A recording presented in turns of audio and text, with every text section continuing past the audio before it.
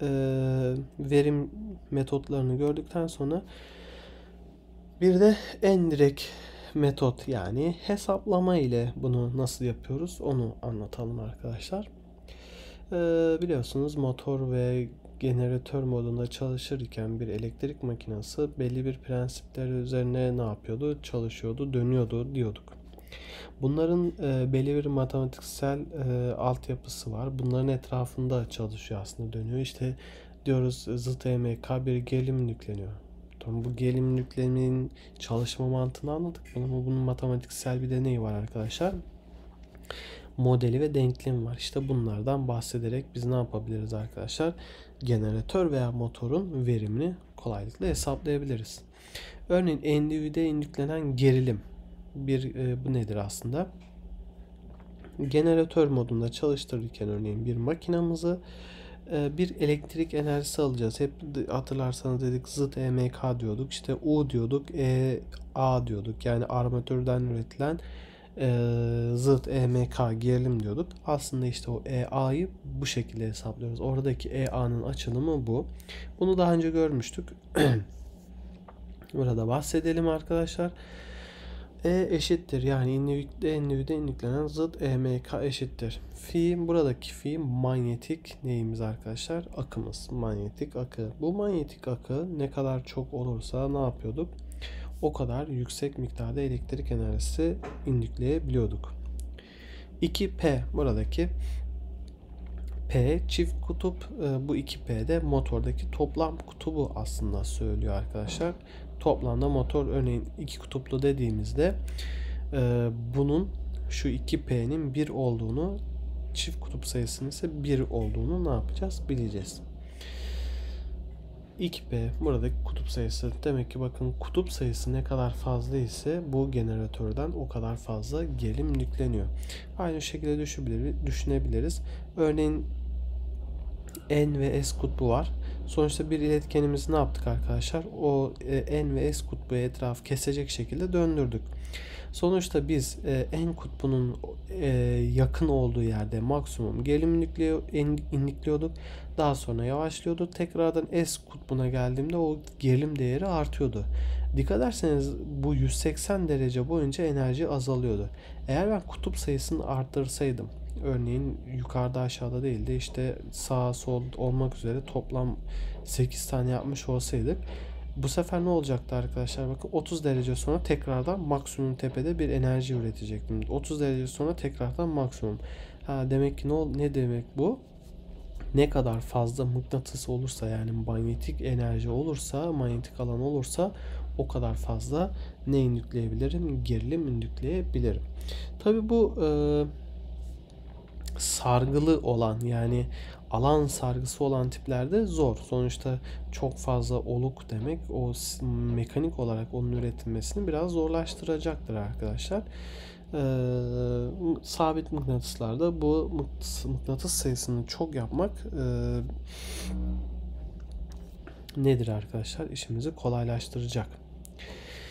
N bölü 60 N arkadaşlar bizim neydi? E, devir bölü dakika cinsinden dediğimiz bu e, iletkenin hızı yani kaç devir döndüğü. Burada kaç devir döndüğü arkadaşlar.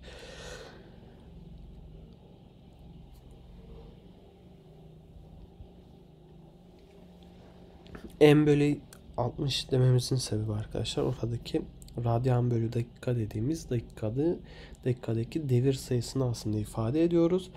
Ee, bakın yine bu ne ifade ediyor? Ben bu iletkeni ne kadar hızlı hareket ettirirsem ne kadar hızlı döndürürsem o kadar fazla bir gerilim yükleyebiliyorum demektir. Z 2A bu Z ne demek? Z arkadaşlar iletken sayısı. Buradaki Z iletken sayısı arkadaşlar. Yani bu da ne oluyor? Demek ki ne kadar örneğin biz tek bir e, hatırlarsanız DC generatörde elektrik üretim prensibini hatırla, hatırlayacak olursanız tek bir iletken üzerine hem de yaptık anlattık. Demek ki ben arkadaşlar buradaki zeti yani iletken sayısını ne kadar çok artırırsam ne kadar fazla bobin olursa o kadar fazla ne olacak demek ki elektrik enerjisi üreteceğim. Bakın bu doğru orantılı. Ne ile doğru orantılı? İletkenin sayısıyla.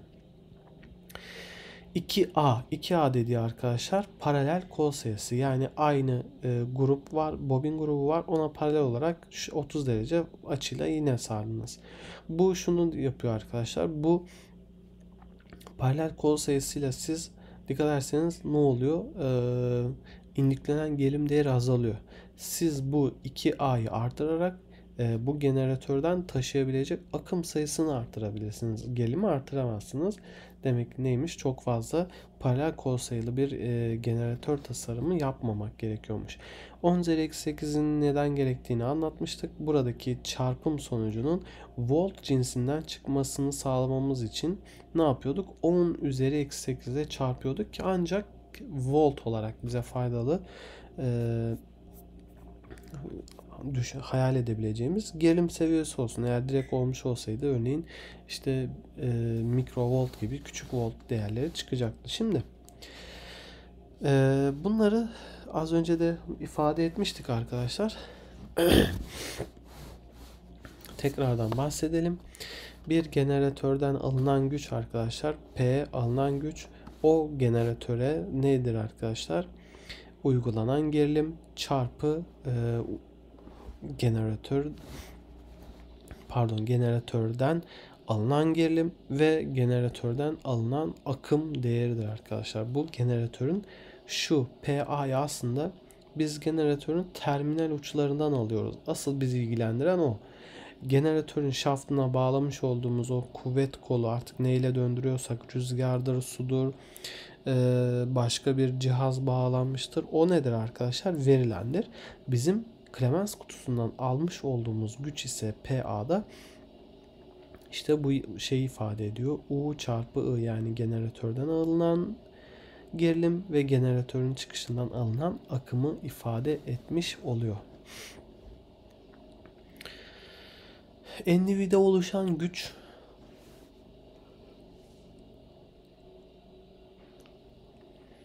NDV'de oluşan güç arkadaşlar P NDV diyoruz. Bakın neymiş? Aslında generatörün çekirdeğinde içinde. Hep hatırlarsak işte yuvarlak içinde EA yazıyordu. Fırçalar vardı. İşte tam o yuvarlağın içinden alınan güç aslında bu. Bu güç alınan güçten büyüktür. Çünkü neden? Bu endüvide üretilen güç motorun diğer kayıpları olarak, generatörün diğer kayıpları olarak yansıyacak. Geriye kalan bu kalacak. Bakın neymiş? PE endüviden alınan güç e az önce ifade etmiş olduğumuz gibi iletkenin endüvideki iletken toplam neyi katıyorduk? E, o endüvinin maruz kalmış olduğu manyetik akıyı, kutup sayıları, devir sayısı, iletken sayısı, işte e, paralel kol sayısı gibi parametrelerin toplamının hepsi bize endüvide kimliklenen gelimi ve IA'yı armatür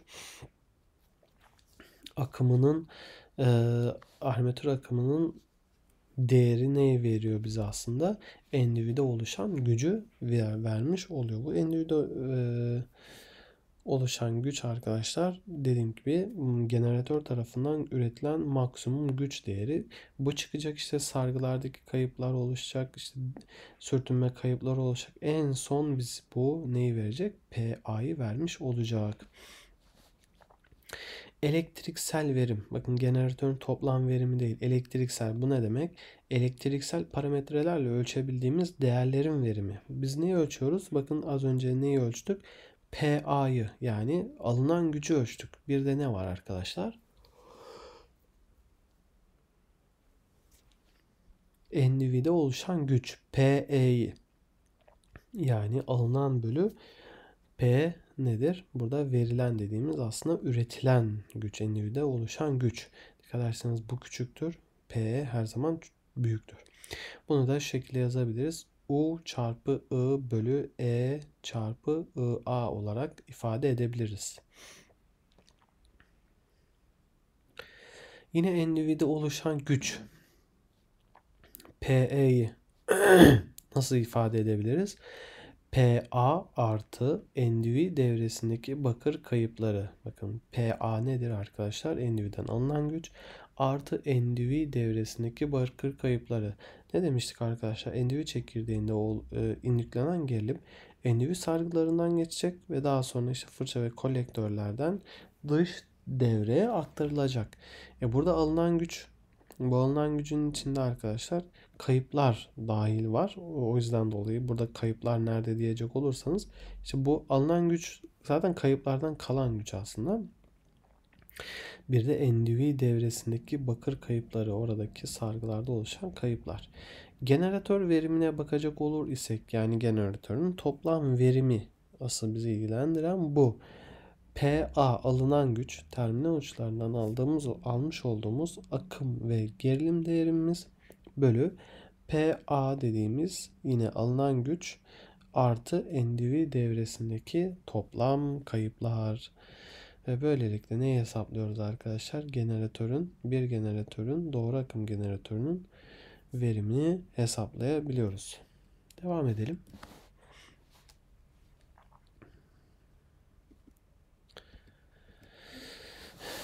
Burada ise arkadaşlar e, neyi görüyoruz? Bir örnek e, yapacağız. Bunlarla ilgili bol bol örnek yapacağız. E, örneklerle bu anlatmış olduğumuz ifadeleri pekiştirelim arkadaşlar. Örnek paralel bağlı. Bakın burada az önce ifade edilen E eşittir fi çarpı 2b çarpı m bölü 60 z bölü 2a çarpı 10 üzeri 8. Bu ifadenin arkadaşlar içindeki parametrelerinden bazılarını vermesi lazım ki biz e, işte az önceki gibi işte ne hangisini istiyorsa bulabilelim. Örneğin burada paralel bağlı 12 koldan oluşan bakın ko, e, paralel kol sayısını vermiş. Yani direkt neyi ifade ediyor bize arkadaşlar bu? 2A'yı ifade ediyor. 12 paralel koldan oluşmuş. İletken sayısı bakın kaçmış? 1440 iletkenli. Bu şu demek arkadaşlar. Bir bobinde örneğin ee, başlangıcından bitişine kadar olan biz şeye ne diyoruz? Bir tur diyoruz. Toplam örneğin 10 tur var ise o bobin grubunda toplamda kaç iletken var arkadaşlar? 10 tanesi kolun başlangıcında 10 tanesi kolun sonunda olmak üzere 20 tane iletken var aslında. buradaki 1400 iletkenli dediği aslında arkadaşlar NDV'nin oluklarının toplam içinde bulunan neymiş bu? e, iletken sayısı yani kaç tane bakır iletken yerleştirildi aslında bize onu ifade ediyor. 1440 iletken e, varmış buradaki NV'de. Ve 8 kutuplu. Bu da arkadaşlar 8 kutup dediği bizim jeneratörümüzün o NV'sinde oluşan kutuplar oradaki sarıların bağlantı şekline bağlı olarak. 8 kutuplu bir generatörün kutup başına manyetik akısı bu manyetik akıda bakın maruz kalmış olduğu bu sargıların maruz kalmış olduğu nedir arkadaşlar?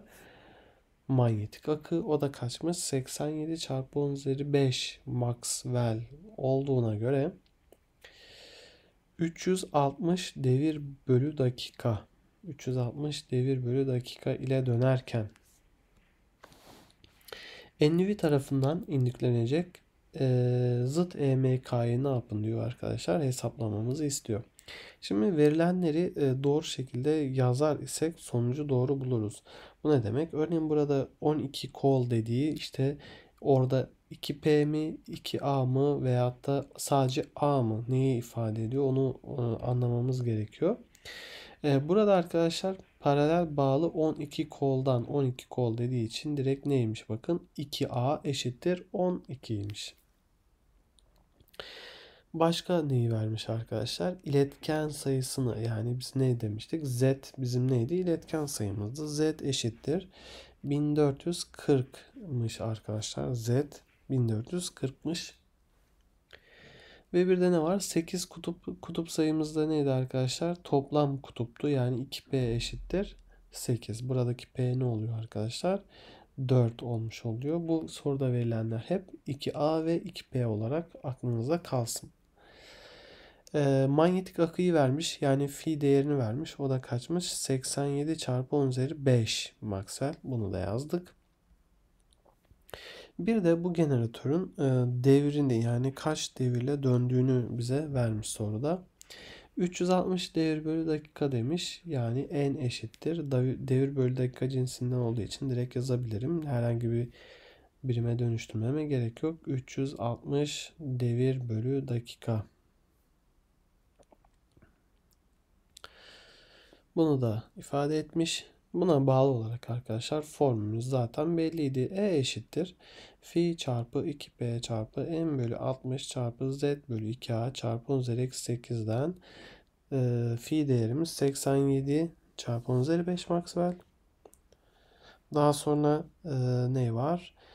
2P. 2P'ye kaçtı? 8. 2P'ye 8 yazdık. Daha sonra devir bölü 60. 360 bölü 60 yazacağız. Devir bölü dakikayı buradaki sadece devir kalacak şekilde hesaplıyoruz. Z belliydi. 1440 iletkenmiş. Bölü 2A paralel kol sayısı da 12'miş. Çarpı 10 üzeri 8.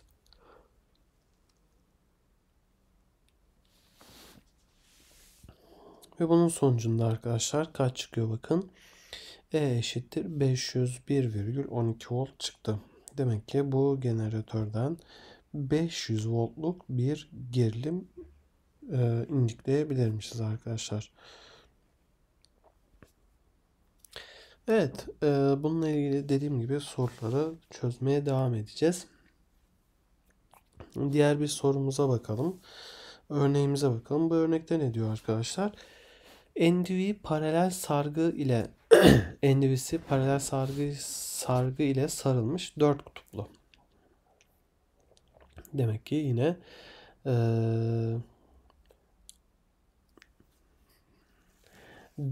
kutup sayısı aslında neyi veriyor bakın.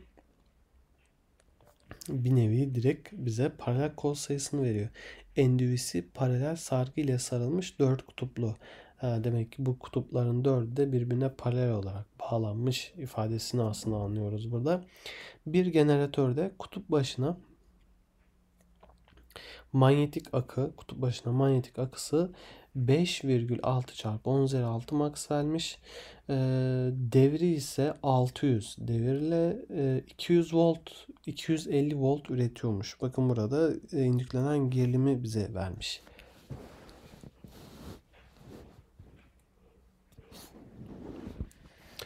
Endüvideki toplam iletken sayısını bulmamızı istiyor bize soruda. Öncelikle verilenleri bir yazalım. Paralel e, sarılmış kutup e, sargı sayımız kaçmış arkadaşlar? 2P eşittir 4. Daha sonra e, fi değerimiz verilmiş. Kaçmış o da? 5,6 çarpı 10 üzeri 5. Bir de devir sayısını verilmiş. 600 bölü devir bölü dakika. Daha sonra neyi verilmiş? Bakın burada 4 paralel kol denilmiş. 2A eşittir 4. Ee, ve bir de E eşittir 250 volt. Üretilen gerilim 250 voltmuş. E eşittir fi çarpı 2B çarpı M bölü 60 çarpı Z bölü 2A çarpı 10 üzeri 8 ifadesinden Z'i çeker isek sonuçta bize iletken sayısını soruyor. Bu endüvide toplam ne kadar iletken vardır diye soruyor. Bunu da arkadaşlar z eşittir e çarpı 2a çarpı 60 bölü fi çarpı 2b çarpı n çarpı 10 üzeri eksi 8 olarak ifade ettik. Burada e, soruda verilenleri yerine yazarsak indüklenen gerilim E 250 voltmuş. Çarpı 2A kaçmış bakın 4 tane paralel kol varmış. Çarpı devrimiz kaç arkadaşlar? Ee, pardon. Oradaki 60 kas sayımız sabitti. Bölü e, fi değerimiz kaçtı? Bakın 5,6 çarpı 10 üzeri 5 e, bir de ne var arkadaşlar? 2p 2p'de soruda ne verilmiş? Bakın 4 kutuplu denilmiş. Ee, ne kaldı? Devrimiz var. Kaç devir? 600 devir çarpı 10 üzeri eksi 8. Bu işlemi yaptığımızda da z eşittir 446,4 spir olarak hesaplanmış. İşte yaklaşık olarak demek ki 446 spirlik bir ne varmış bu e, generatörde endüstri sargısında. 446 e, tane iletken varmış. O iletkenlerin sayısını biz ne yapmış olduk arkadaşlar? Böylelikle hesaplayabiliyoruz. Evet bu şekilde problemlerimizde devam edeceğiz. Ee, şimdi bir ara verelim.